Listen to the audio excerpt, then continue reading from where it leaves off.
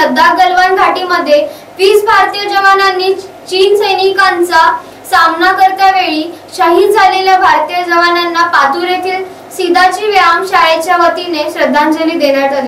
येथील सिदाजी महाराज व्यायामशाळेचे प्रमुख मंगेश गाडगे व व्यायामशाळेतील सर्व सदस्यगण तसेच पातूर तालुक्यातील माजी सैनिक ज्येष्ठ नागरिक कोरोना पथकचे मुख्याधिकारी राहुल उंद्रे पत्रकार सतीश सरोदे किरण कुमार निमकंडे अजित अलाट पिंपळेश्वर ग्रुपचे तालुकाध्यक्ष महेश बोचरे व सर्व सदस्य यांच्या उपस्थितीमध्ये भारतीय वीर सैनिकांच्या प्रतिमेचे पूजन करून दोन मिनिटे मौन धारण करून श्रद्धांजली देण्यात आली. काही दिवसा अगोदर पूर्वी लडाखमध्ये गलवान घाटीमध्ये भारतीय सैनिक देशाचे सीमेचे रक्षण करत असताना चीनी सैनिकांनी भ्याड हल्ला करून भारतीय सैनिकावर अटॅक केला.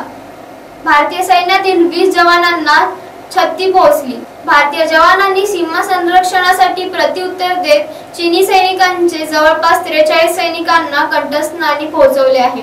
अशा वीर पराक्रमी शहीद झालेल्या वीस जवानांना श्रद्धांजली देण्याकरिता माजी सैनिक यांनी उपस्थिती लावून माजी सैनिक तुकाराम निलखन तसेच माजी सैनिक अंबादास टप्पे यांनी आपल्या जीवनात घडलेल्या लद्दाखमध्ये सैनिकमध्ये कार्यरत असताना आलेले अनुभव व गलवान घाटीमध्ये असलेले बर्फाळ पहाड व लद्दाखमध्ये असलेली भीषण परिस्थितीबद्दल युवकांना माहिती देऊन शहीद झालेल्या सैनिकांना श्रद्धांजली दिली.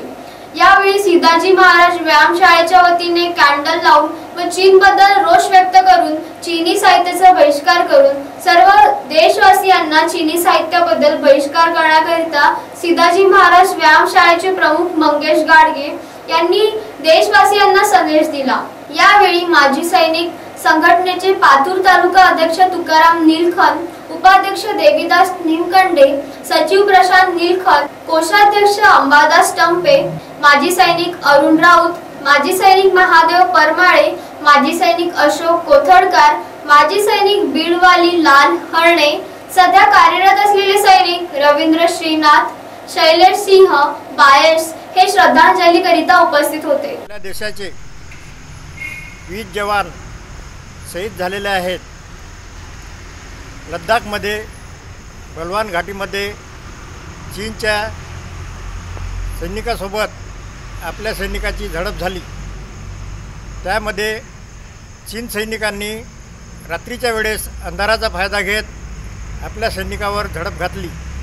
त्यामुळे आपले वीस जवान शहीद झाले आणि चीनचे जवळपास त्रेचाळीस जवान शहीद झाले. म्हणजे त्यांना जास्त क्षती पोचली आपल्याला कमी पोचली तरी पण आपले वीस जवान शहीद झाले. या शहीद जवानांना आज श्रद्धांजली देण्यासाठी आपण इथे सर्वजण एकत्रित आलेले आहो आता दोन मिनटाची श्र श्रद्धांजली वाहायची आहे. त्यासाठी सर्वांनी मौन पाळायचे आहे. एमसी न्यूज करिता योगेश नागोलकर पातूर आपल्या परिसरातील घडणाऱ्या संपूर्ण घडामोडी मोबाईलवर पाहण्यासाठी खालील लिंकवर क्लिक करून लाईक करा शेअर करा व सबस्क्राईब करा. आणि रहा सदैव अपडेट